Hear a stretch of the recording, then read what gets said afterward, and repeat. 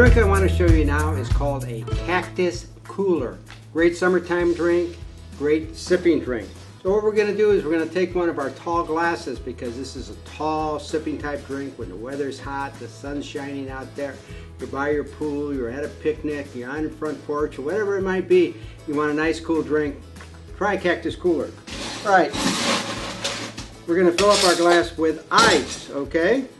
Then the, our ingredients are going to be Mandarin vodka. Oh, my sleeve is coming undone, so hold on one minute while I get all set here, all right? So this is a Mandarin orange infused vodka. It's not sweet, but it does have an orange flavor to it.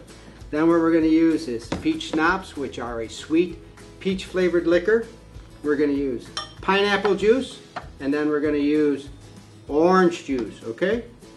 So here we have all of our ingredients. So let's get busy and make this drink, all right?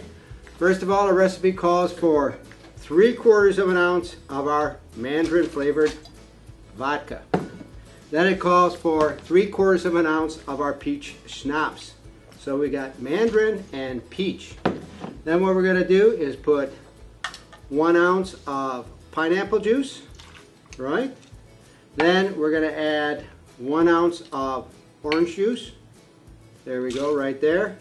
Then what we're gonna do is we're just gonna put a little Sprite or 7-Up lemon lime soda. There we go right there. Then, to top it off, we're gonna garnish it, uh, let's get it right there, where's it at? With a little slice of orange. Let's put a couple of uh, tall straws in here. And here we have a delightful summer drink, Cactus Cooler. Sip it all day long. I'm sure you'll enjoy it. And remember, if you haven't subscribed to our channel, hit the subscribe button to be notified of new videos and bartending techniques. Thanks for joining us.